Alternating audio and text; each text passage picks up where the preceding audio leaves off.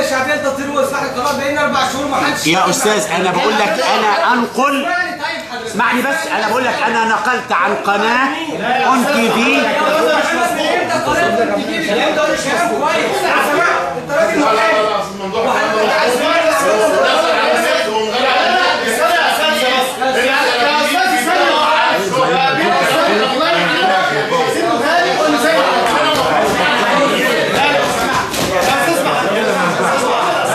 عايزين ننقل أستاذ ممدوح أستاذ ممدوح أستاذ ممدوح مجال اجتهاد اجتهاد أستاذ ما فيش الكلام ده حصل أصلا لا لا موجود يا لو سمحت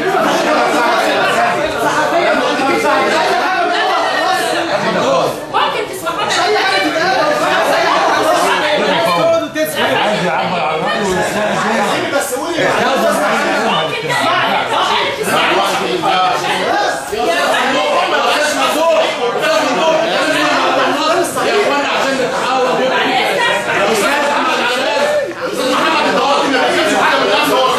اتفرج على حلقه والحلقة قالت الكلام ده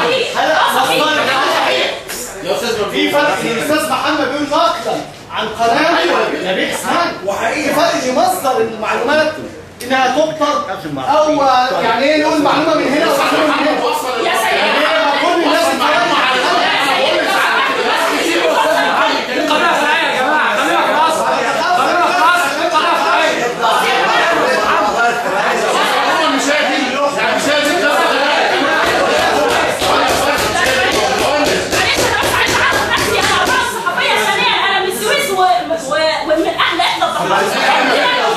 يا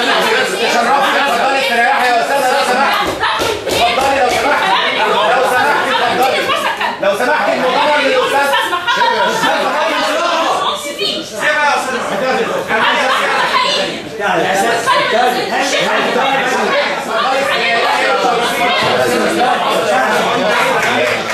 يا اساتذه يا اساتذه لو سمحتوا تسمعوني بس. هل هل أحد منا يقبل إن ضابط شرطة أو أهل ضابط الشرطة يتوجه إلى المجني أحد المجني أهل المجني عليه ويرهب أو يرغب علشان يروح يغير أقواله. حد من حضراتكم يرضى هذا؟ يقبل كويس كده خلاص. إحنا بقى سواء بقى. سواء بقى. لو لو سمحنا يا أستاذ. يا أستاذ مش معقولة يعني. مش معقولة كده. مش معقولة كده.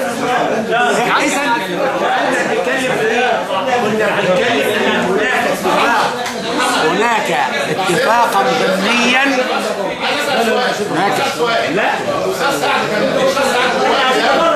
قال ان اللي حصل ده فلا يجوز فيه التغيير يا ريت بعد اسمع عليك يا أستاذ سعد باعتبارنا لجنه حريات نعمل بيان الكلام ده وهندي فرصة للجميع أن يتكلموا. ونعرف الناس المؤتمر الكلام ده ده مش. شرعي صح كده صح كده يا ريت إحنا إحنا الكلام ده الناس التكليف ما تعرفش الكلام ده وهل الشهداء متبهدلة ومش عارفة تروح فين.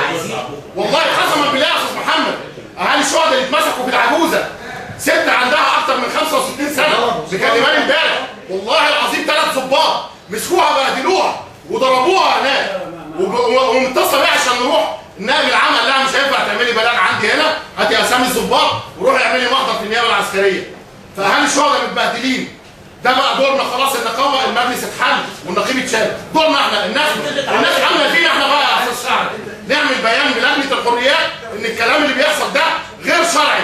ده إفساد في الأرض مش قتل عمد يا ريت والنبي يا أستاذ صح خلاص. إحنا متفقين جميعا على كده لكن إحنا كنا بنتكلم على إن هذه القرارات قرارات إخلاء السبيل مخالفة كلية للدستور.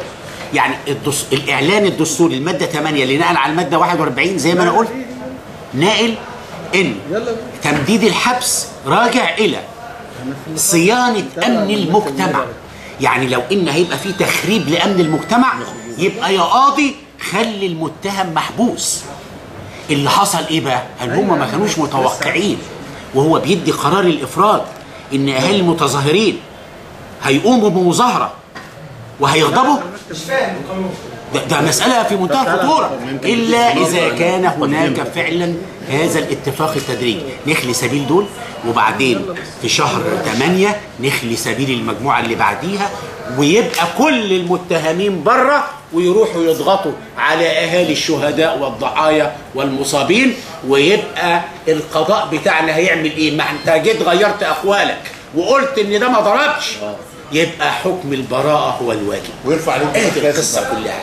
إحنا عايزين إحنا إحنا كلجنة حريات بغض النظر عن المجلس وحله كله إحنا لجنة الحريات سوف تستمر في عملها كلجنة حريات في الملازم الوحيده هذه اللجنة عليها دور كبير وعليها دور أساسي في تفعيل وت... وإعادة تاجيج الثورة.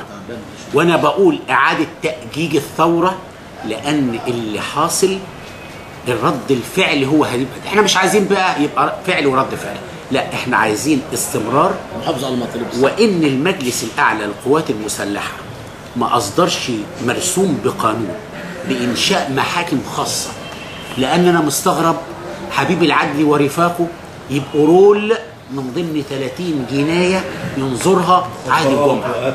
إيه ده؟ محمد ما مجلس العسكري زيهم ما هو ما, ما, ما أنا بقول أنا الأطراف كلها الأطراف كلها مدانه ولذلك إحنا يوم الجمعة لابد أن يكون هناك تصعيد ويبقى التصعيد من لجنة الحريات إلى باقي اللجان والمشاركين في الميدان. علشان بس ما ينقلبش الوضع هناك لأن الناس هناك ممكن إيه تغلب قضية الدستور والانتخابات اولا وتنسى وتنسى الهم الأساسي وهو هم هذه المحاكمات اللي هو مطلب فعلا. يعني أنا قابلت كتير من أهالي الضحايا ولا أجد إجابة عندهم سوى الدم بالدم. أستاذ محمد بعد إذن حضرتك. وهذا هو القصاص الحقيقي.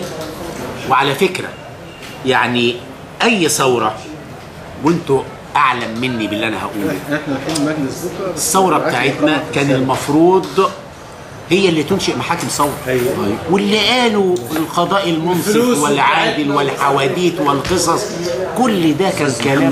محمد اللي رفع القضية بتاعت محمد عبد الوهاب اللي رفع القضية بتاعت البس الباشا آه. بيقول هنروح بكرة محكمة القضاء الاداري عشان ينزلوها جلسة.